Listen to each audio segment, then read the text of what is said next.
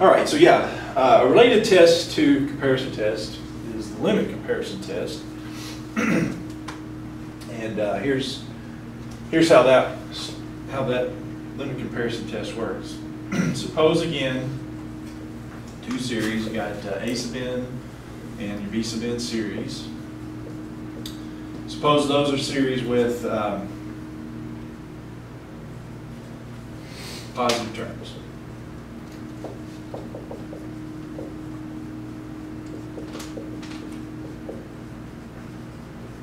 So that's same, same as the comparison test.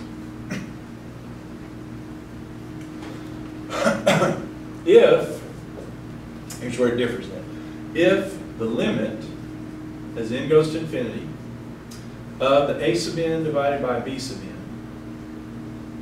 So we're going to take the two expressions there, divide them, a sub n divided by b sub n, then take the limit. If that equals c, where c is a finite number, and c is greater than zero, So you got a finite number and it's positive, greater than zero. Then, either both series converge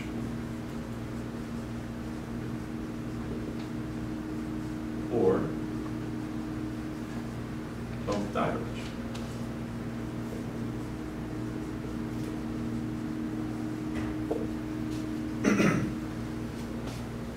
So either they both diverge or they both converge. And so the benefit of that is if I know what one of them does, if this, you know, these two if things are true, if I know one of them converges, then I know the other one converges. Or if I know one of them diverges, then I know the other one diverges. So that's how this test works. okay? So it's kind of a little more open-ended than the comparison test because the comparison test, yeah, you had one converge, but then you had to have this other thing be true or diverge and then this other. This doesn't have, it just has to be, you got a limit and you know both of them do the same thing. All right. So yeah, let's go back to that previous one, uh, the last one we talked about with comparison test. The limit, sorry, the series is um, 1 over 2 to the n minus 1. So was that the one? Yeah. That series right there. So comparison test did not work on that. So let's try the uh, limit comparison test. LCT.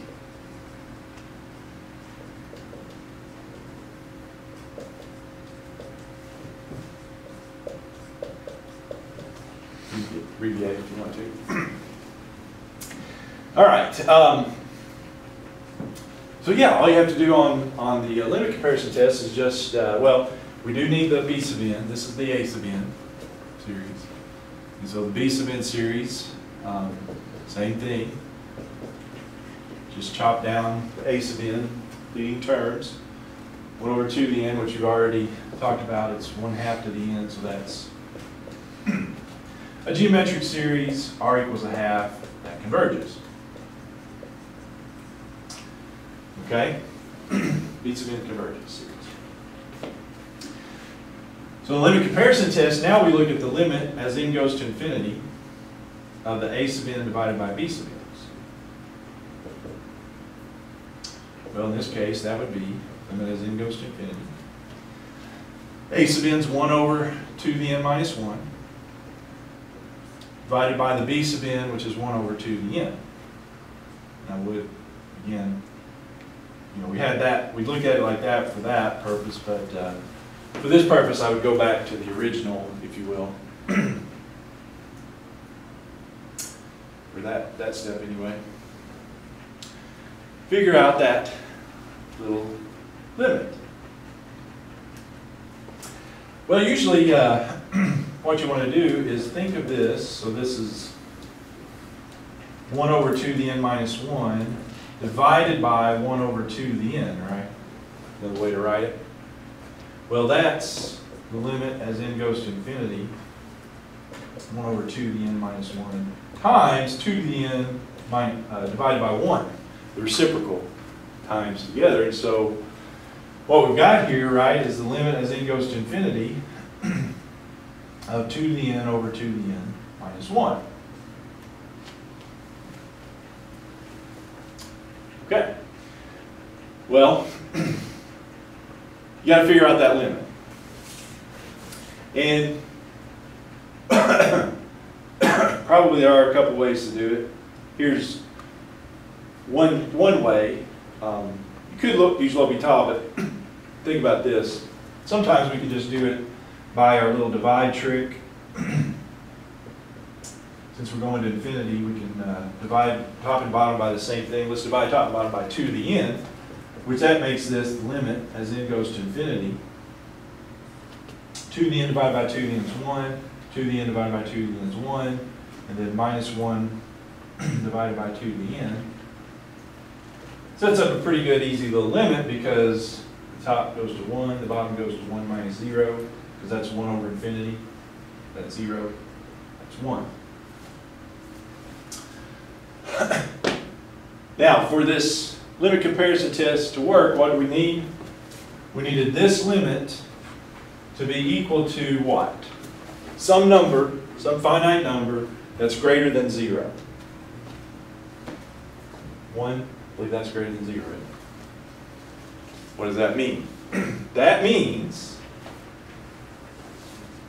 so both series converge or diverge. Well, I just so happen to know my B sub n converges. So since our B sub n series converges, so does this uh, A sub n series. So, conclusion, the series, the A sub n series, 1 over 2 to the n minus 1, converges by LCT. Least limit comparison test.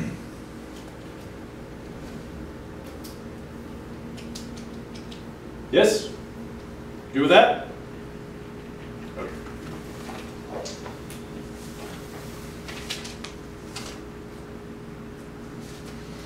Okay.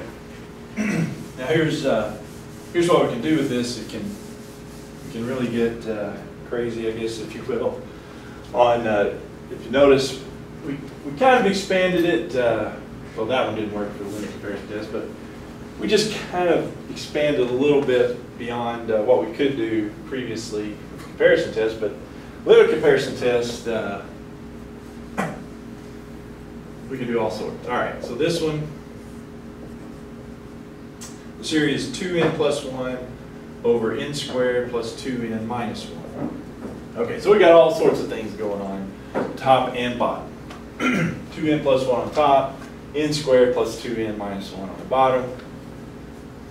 Yeah, that, I probably wouldn't recommend the comparison test on that. The limit comparison test is, uh, I don't want to say a better test, probably more useful, but, you know, I'll have you do comparison and limit comparison on the test, so you got to know both of them. Um, so try, uh, try both of them, but yeah, this one's probably definitely uh, limit comparison test is the way to go here. So that's the A sub n series. The B sub n would be, yeah, just condense that down, leading terms. So the leading term on top is 2n, bottom is n squared. Uh, well, that simplifies. Just be 2 over n, wouldn't it? Which, we had that one. A little earlier, yes. Comparison test one, that's the harmonic series, right? Uh, P series. P equals 1, that's divergent. So we got B sub n divergent. So the limit comparison test, we do the limit of A sub n divided by b sub n. See what that gets us. So that'll be the limit as n goes to infinity. That's a sub n, 2n plus 1, divided by n squared plus 2n minus 1. Uh, yeah, on this one, you could do either one, but that would probably be the better one of the two. You could go back to that one, but probably makes it uh, easier with the 2 over n one. Okay? Well, what I'm going to do with that is uh, do the reciprocal of that and multiply. So it'll be 2n plus 1 divided by n squared plus 2n minus 1 times the reciprocal n over 2.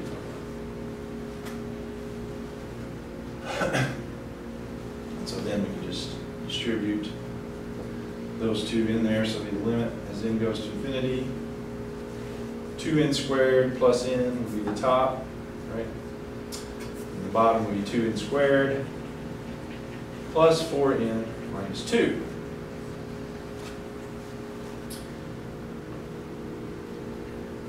And then our trick divided by uh, largest power in the denominator works out? Because that'd be the limit as n goes to infinity. That'd be 2 plus 1 over n divided by 2 plus 4 over n minus 2 over n squared. Yeah, that's 2 plus 0 over 2 plus 0 minus 0. 2 over 2, that's 1. We're good, aren't we? Erase the test. Yeah, as long as it's a finite number and it's greater than 0.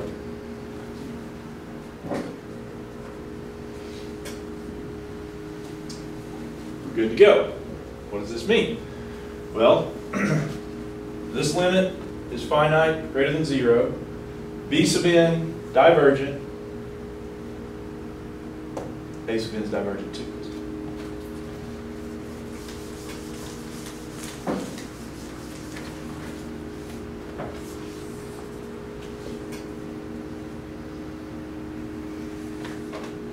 Two n plus one divided by n squared plus two n minus one diverges by the limit comparison test. It's a good idea to, since we're getting all these tests, to specify which, which test you're thinking you're using right there. Okay?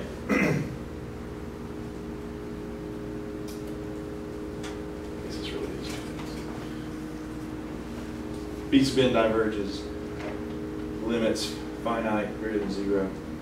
A sub n's got to diverge. Yes?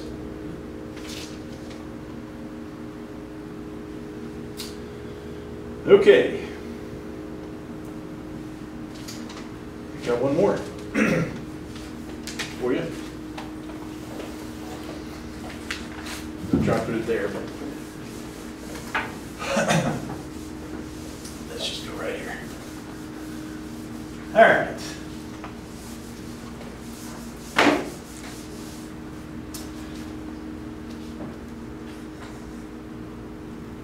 One hundred plus three n top, and then n cubed plus two is denominator.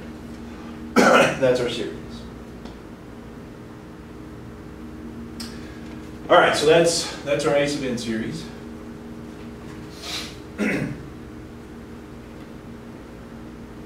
B sub n, what's it gonna be? So leading coefficients, and I guess I did these in mixed up order. Uh, the top is, um, I guess it really mattered, but it could. The top, you got 3n is the leading term. It doesn't have to be the first term. It's the, the largest power term on the top, divided by leading term on the bottom, which is cubed.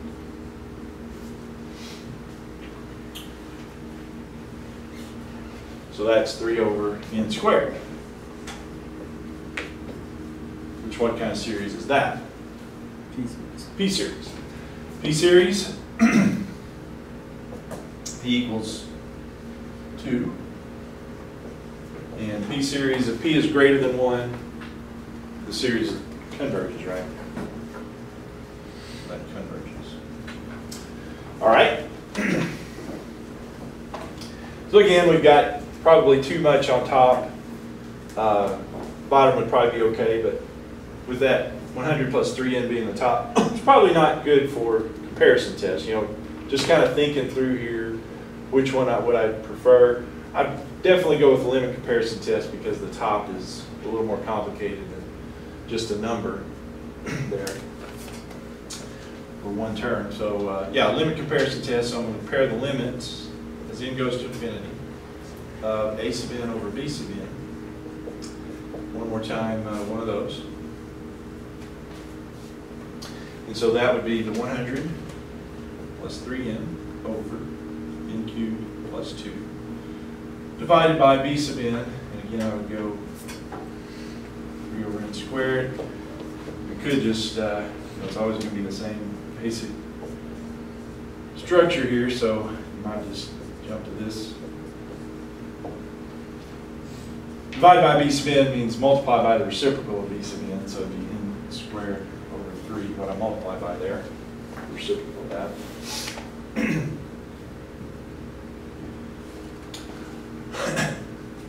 Cut to that uh, part. Because that's usually what these are structured like. And we multiply by that reciprocal right there. Um, anyway, all right, so works out basically like our other one does. 100 be 100 n squared plus 3 n cubed, 3 n cubed on the bottom plus 2 plus 6. Yeah, nothing really.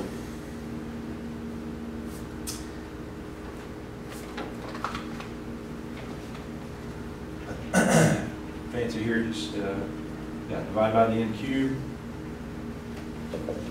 Gets me limit as n goes to infinity. 100 over n plus 3, 3 plus 6 over n cubed. That goes to 0, so 0 plus 3 on top, 3 plus 0. So again, we get the 3 over 3.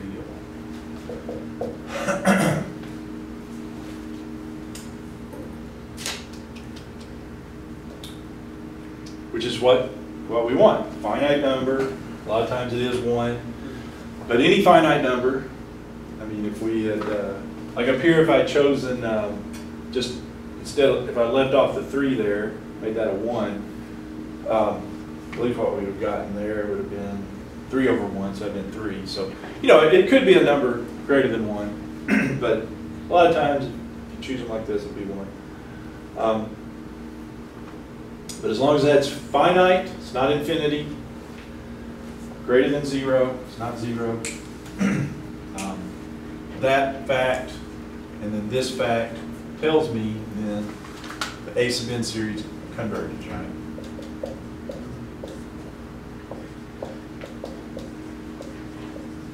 By